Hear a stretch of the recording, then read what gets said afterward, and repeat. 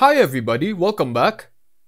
Here's how you can create this cinematic logo reveal in CapCut where there will be a logo and then uh, there will be this masking that will cut some parts of the logo and then um, the masking will go away to reveal the entire logo. So uh, tap on new project and then afterwards head over to photos, select this. This is the light bulb icon from the logo of Tongtips and then tap on add on the bottom right you can extend the duration and then uh, delete this one and then uh, extend the, you know, the logo layer so that it ends at, let's say, uh, 15 seconds.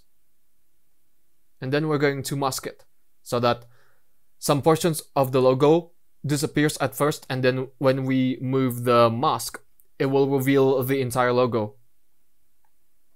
so uh, head over to mask, select the mirror one and then make sure to invert it, just like so.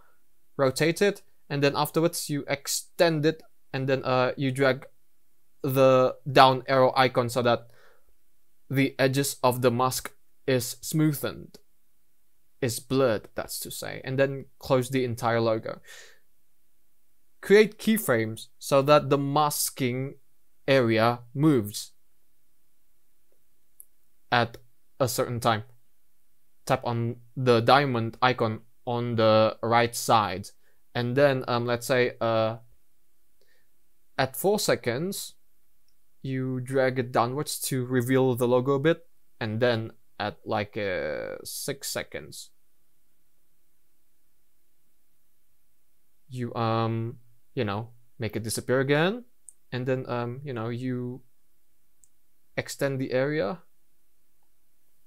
and then you rotate it like um, um, 22 degrees and then uh, at 10 seconds it reveals the entire logo just like this. Hold on. And then you simply you know make the masking smaller by you know decreasing the size by making an inward movement by using both of your fingers, one on the left side and one on the right side to create this kind of look. And then if we play it, it will look like this.